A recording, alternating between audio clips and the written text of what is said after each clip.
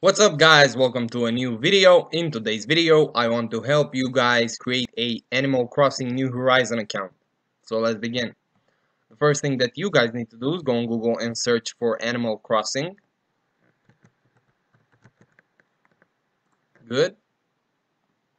Okay, now scroll down over the ads and click on uh, this link. It should look like this. Click on that.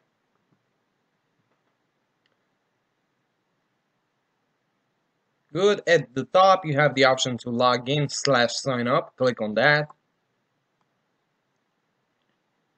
Okay, now you have two options. One is to sign in. One is to create a Nintendo account. So click on create a Nintendo account.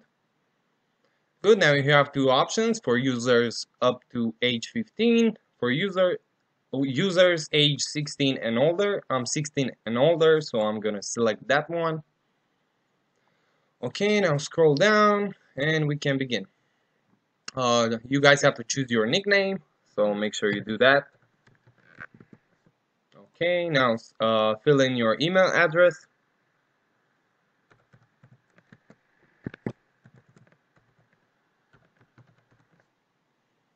Good, now create uh, a password.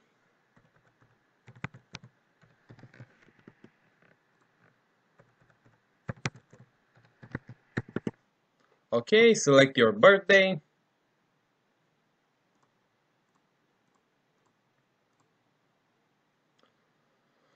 Uh, you can select uh, your gender, you can choose not to answer, or uh, or you do. Okay, time zone is good. Now select this box and click continue. Now you can choose if you want to receive uh, emails from outside the Nintendo group. I don't want to receive it, so I'm going to select this one. Then I'm going to click confirm and register. Okay, so now what you guys have to do is go on your email. They're going to send you a verification code on your email. Uh, you guys have to check that out. Then put the verification code in here. Click verify and your account will be automatically created then you can enjoy the game.